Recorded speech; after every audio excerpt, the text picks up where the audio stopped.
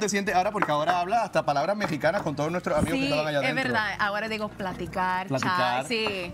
Pues nosotros digo hablamos, pero ahí es platicar. Madison, y ahora que hablamos de eso del español, ¿te Gracias. gustaría eh, perfeccionarlo y hacer una carrera en los medios hispanos o qué te gustaría Gracias. hacer? Claro que sí, ojalá esto me va a abrir muchas puertas para hacer eso. O sea, de- definitivamente me voy a comenzar con mi clase de dicción español, pero creo que ya tengo un base súper fuerte y me siento muy orgullosa también de mi español.